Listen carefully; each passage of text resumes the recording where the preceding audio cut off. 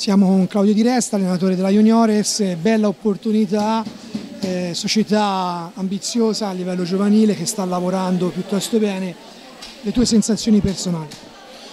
Sì, stiamo lavorando bene, la società è organizzata in maniera futurista, diciamo, cioè sta cercando di, di, mirare abbastanza in alto dal punto di vista strutturale perché è nata da poco e da poco, come si vede anche questa sera, insomma, sta facendo dei, dei buoni passi con, con tanti iscritti, quindi vuol dire che ce la stanno mettendo tutta, ripeto, con mille difficoltà, però il, il, futuro dovrebbe essere abbastanza roseo insomma, per, per, come, per, come, stanno lavorando. Ecco. Noi mister ce la stiamo mettendo tutta perché eh, da piccola società qual è dobbiamo cercare anche di dare una mano ai dirigenti, ogni tanto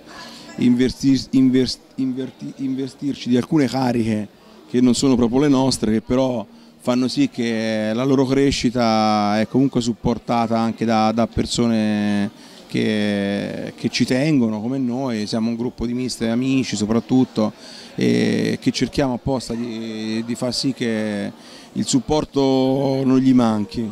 Senti, due cose veloci,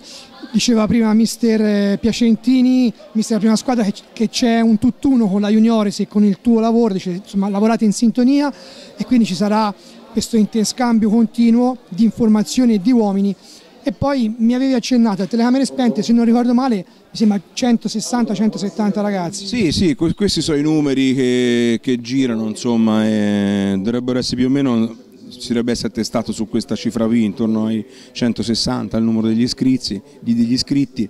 Per quanto riguarda la domanda che mi avevi fatto prima, sì, con Piacentini stiamo lavorando insieme, e ci stiamo allenando insieme diciamo, le stesse serate, abbiamo fatto una preparazione qui eh, noi juniores ospiti della struttura del cielo verde, quindi sfruttando spazi, sfruttando distanze giuste, eh, respirando bene perché comunque allenandosi d'estate durante il periodo della preparazione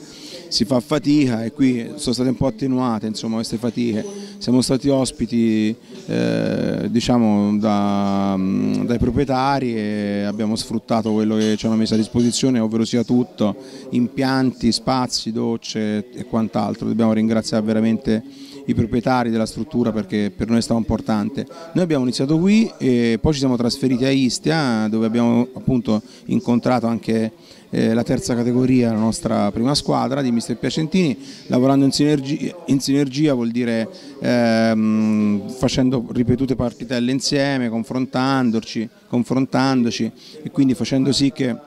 potessero crescere in maniera tranquilla, senza un agonismo esasperato, sia la sua che la mia squadra.